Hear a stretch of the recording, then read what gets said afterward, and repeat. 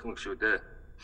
Олон нийтийн радио телевизийн тухай хуулийн 21-р зүйлд заасны дагуу Монголын үндэсний олон нийтийн радио телевизийн үндэсний зөвлөлийн гишүүнийг томлох асуудлыг төрийн байгуулалтын байнгын хороо 2021 оны 1 сарын 5-ны өдрийн хуралдаанаараа хэлэлцлээ.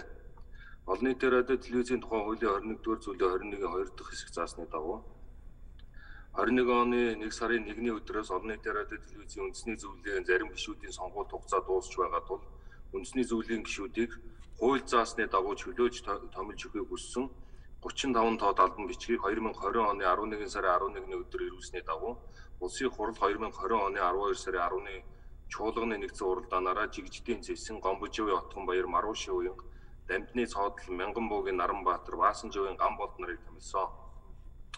Улсын хурлаас нэр дэвшүүлсэн нэр дэвшигч Чулуунбаатарын Батсангил нь чуулганы нэгдсэн уралдаанд өөрийн нэрээ татсан тул Монголын үндэсний олон нийтийн радио телевизийн үндэсний зөвлөлийн бүрэлдэхүүнд улсын хурлаас томилох нэг сул оронтой үлдсэн. Үүний дагуу ажлын хэсэг улсын хурлаас нэр дэвшгээр төрийн бас байгууллагаас ирүүлсэн 20 нэр дэвшигчийн талаар нууц санал хураалт явуулж хамгийн олон санал авсан нэг нэр дэвшигчийг э, чуулганы нэгдсэн уралдаанд танилцуулах зүйтэй гэж үзсэн байна.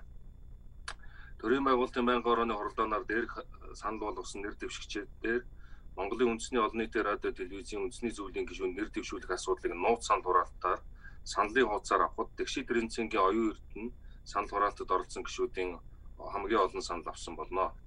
Нэр дэвшигч Тэгшид Рэнцэн овогтой оюун эрдэнэ Улаанбаатар хотод 1971 онд төрсэн 1995 онд Монгол мэдлэгийн их сургуулийг Монгол судлаач мэрэгчлэр 2018 онд хүмүүнлэгийн ухааны их сургууль магистрийн зэрэг хамгаалсан.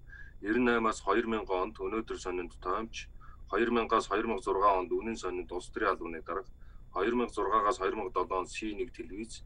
2007-оос 2009 онд өглөөний сонин. 2009-өөс 2016 онд өнөөдөр сонинд тоон сэтгүүлч 2014 оноос ТV Mongolia компани захирлаар ажиллаж байна.